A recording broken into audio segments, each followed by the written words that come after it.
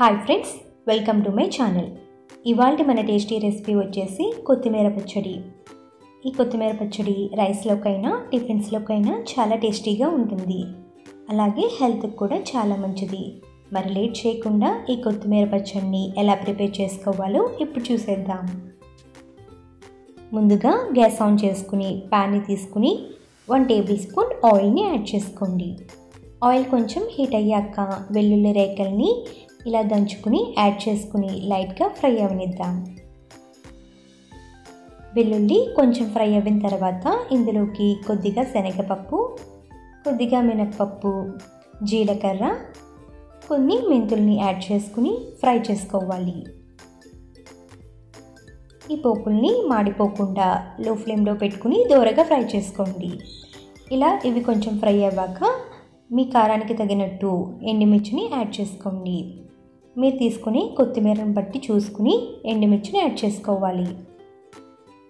ఇవన్నీ బాగా fry అవ్వాక gas off చేసుకుని వేరే బౌల్లోకి సెపరేట్ చేసుకోండి. ఇలా బౌల్లోకి సెపరేట్ చేసుకుని పక్కన పెట్టుకోండి. ఇప్పుడు అదే ప్యాన్లోకి చిన్నగా కట్ చేసుకున్న టమాటాలని యాడ్ చేసుకుని ఫ్రై చేసుకోవాలి. టమాటాలు సాఫ్ట్గా మగ్గే వరకు ఫ్రై చేసుకోండి. మూత పెట్టుకుని కాసేపు ఫ్రై చేసుకుందాం.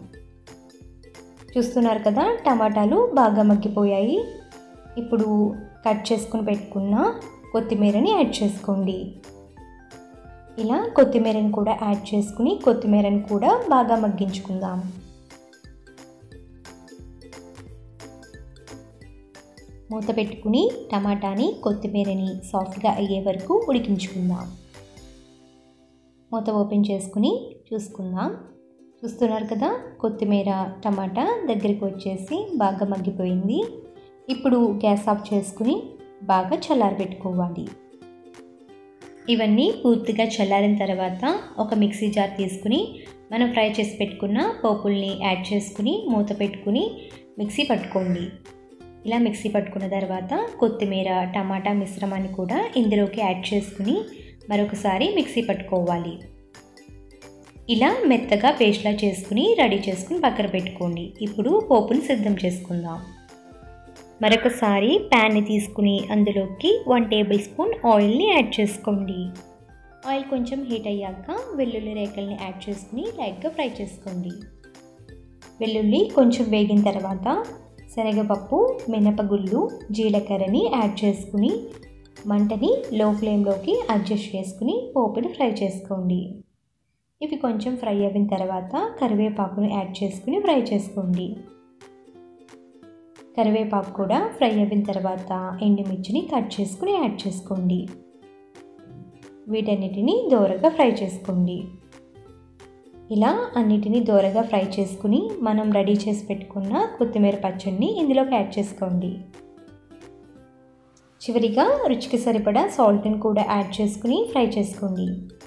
మీరు కావాలనుకుంటే మిక్సీ పట్టుకునేటప్పుడు సాల్ట్ని యాడ్ చేసుకుని మిక్సీ పట్టుకోవచ్చు లేదంటే ఇలా చివరిగా కూడా యాడ్ చేసుకోవచ్చు.